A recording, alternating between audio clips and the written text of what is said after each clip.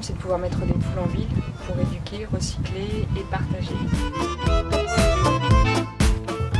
L'idée, c'est de pouvoir sensibiliser le grand public euh, sur le vivant et sur euh, tous les gestes euh, liés à l'environnement et sur la sensibilisation au recyclage notamment, en incitant les citadins à déposer leurs déchets au sein de collecteurs qu'on va répartir dans la ville.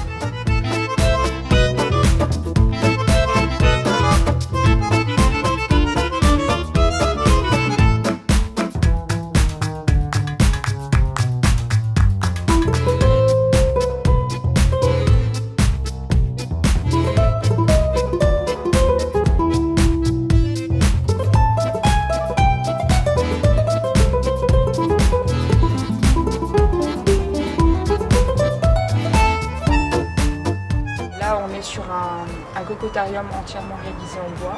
À terme, l'idée c'est de pouvoir euh, réaliser euh, le cocotarium tel qu'on avait imaginé au départ, c'est-à-dire euh, une forme qui s'inspire des kiosques à musique d'antan, qui étaient un petit peu des, sites phares dans les villes où les gens se rassemblaient pour assister à des scènes de théâtre ou à des concerts et c'était un lieu de, partage vraiment et de rencontre et l'idée c'est de pouvoir retrouver un petit peu cette ambiance là à travers le cocotarium pour que les gens aient envie voilà, de redécouvrir ces moments-là et partager un moment ensemble grâce au cocotarium. Il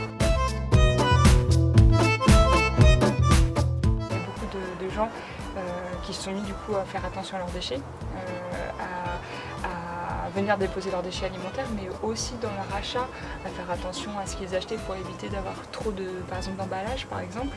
Euh, les enfants aussi, les enfants qui ont été, euh, qui ont bien reçu le projet et qui sont, euh, qui sont venus. Bah, il y a le parc juste derrière nous et il y a l'école un tout petit peu plus haut.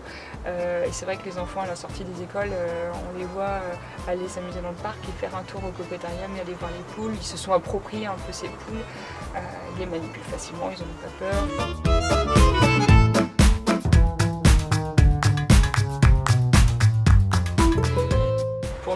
L'idée c'est de pouvoir les récupérer juste avant euh, pour leur permettre de finir leur jour tranquillement.